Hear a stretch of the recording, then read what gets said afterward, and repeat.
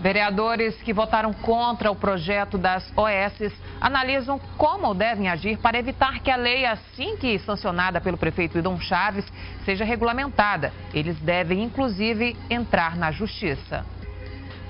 A lei das OS foi aprovada pela Câmara de Vereadores de Porto Velho nesta segunda-feira em regime de urgência. Entrou em pauta através de um requerimento do vereador Alan Queiroz, líder do prefeito na Câmara. Foi aprovada em primeira e segunda votações pela maioria dos vereadores, depois da convocação em caráter de urgência de uma sessão extraordinária, sem a quantidade suficiente de assinaturas. O pouco tempo para analisar o projeto pegou muitos vereadores de surpresa. De fato, vivemos ainda uma ressaca de um projeto de lei que foi aprovado de forma truculenta, essa que é a verdade, numa extraordinária. Esse projeto de lei da OS não estava em pauta na ordem do dia, foi aprovado um requerimento para que ele fosse de forma urgente, urgente ser apresentado para votação no dia de ontem, e isso acabou atrapalhando também o nosso processo de avaliação sobre o projeto, porque nós ainda tínhamos duas audiências públicas, uma no bairro Areal, outra no bairro Nacional, a Zona Leste foi ouvida, a Câmara foi ouvida, faltava a Zona Norte e a Zona Sul.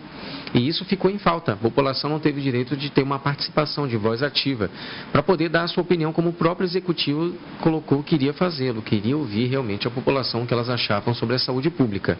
Então, depois dessa situação, a gente já tem conhecimento que algumas instituições, como o Conselho Estadual de Saúde, deseja, assim que o prefeito sancionar esta lei, entrar com uma ação judicial. É uma deliberação de uma instituição que tem autonomia e que tem entendimento sobre saúde, até porque o seu corpo deliberativo são pessoas que são envolvidas com a saúde e tem até mais discernimento do que nós vereadores. A vereadora Cristiane Lopes, integrante da Comissão de Saúde da Câmara, questionou a falta de discussão do projeto antes que ele entrasse em pauta.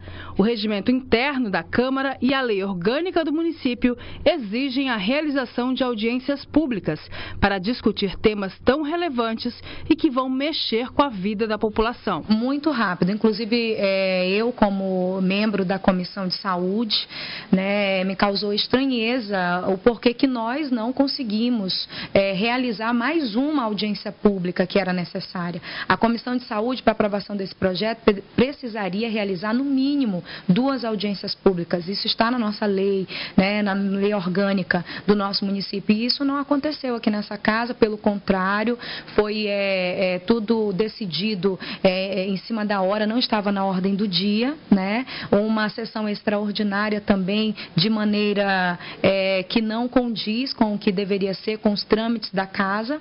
Então, foi tudo errado. A verdade é essa e a gente precisa reaver essa situação, porque o que nos preocupa, se aconteceu tudo isso dessa forma, aí ainda mais aumenta a nossa preocupação com o que pode acontecer com o futuro da nossa cidade. Nós estamos falando de recursos, nós estamos falando de muito dinheiro que pode ser investido nessas OS, ao qual a gente não sabe como realmente elas vão é, funcionar e como que vai ser aqui em Porto Velho. Com a mesma velocidade que a lei foi aprovada pela Câmara de Vereadores, ela chegou de volta aqui à Prefeitura.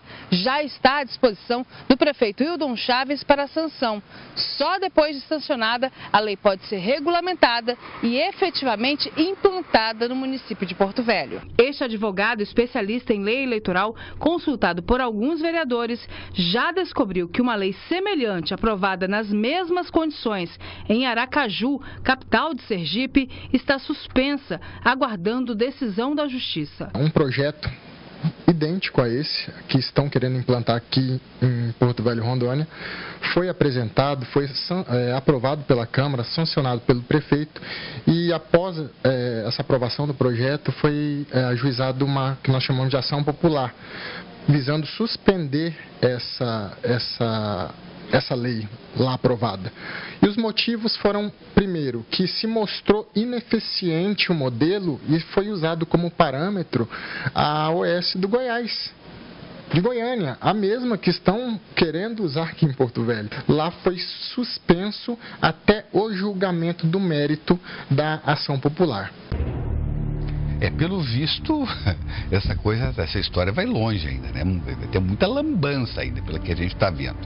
Agora, eu estava vendo ali a, a, nossa querida colega eh, de, de, televisão, a vereadora Cristiane. Cristiane Lopes, que foi nossa colega, que querida demais, extremamente competente. Fico feliz em vê-la desempenhando tão bem a sua, sua função de vereadora lá na, na televisão, enfim.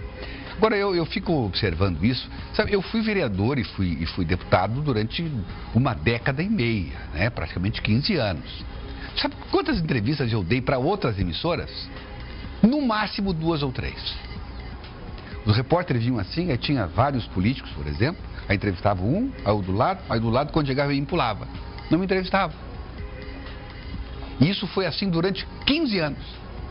Então eu dei assim, acho que umas duas ou três entrevistas, ainda quando o negócio era contra mim, não era porque era a favor, né? E, e, a gente faz questão de democratizar cada vez mais a informação e me orgulho, não me orgulho mesmo, ver colegas, jornalistas, radialistas, eh, ocupando cadeiras do legislativo, no executivo, enfim, ajudando a cidade de alguma forma, ajudando esse Estado de alguma forma.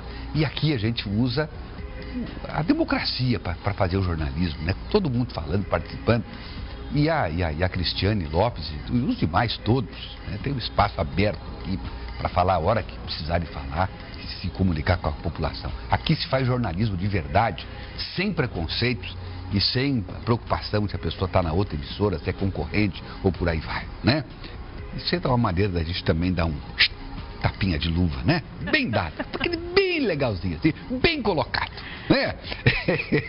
Eu, eu, adoro fazer essas coisas, adoro, adoro, eu adoro quebrar os, os, os, os, os, os, os protocolos, né? Os, paradigmas, né?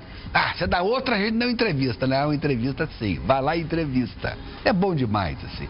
O russomano não dá entrevista nas outras também, é muito difícil, lá em São Paulo. Mas aqui é diferente, aqui democracia impera. Johnny Vicente, boa noite, amigos. Neninha Sobreira, Deus é maravilhoso. Todos os dias tenho o privilégio de assistir o SIC News. Beijos, Everton e Meire. Jana Mota, nossa colega lá de Ariquemes. Tô com saudade de vocês. Se eu não ganhar um beijo hoje do Everton e da Meire, vou cometer uma loucura. Vou comer manga e depois tomar leite. Não faça isso, Jana. Isso é suicídio. Isso chama-se suicídio. Ó. Beijo pra Janaína Mota. Beijo pra Jana, ficou enciumada que ela estava de férias, a gente não mandava beijo pra ela. Beijo muito especial pra você, Jana. A gente ama você, tá bom?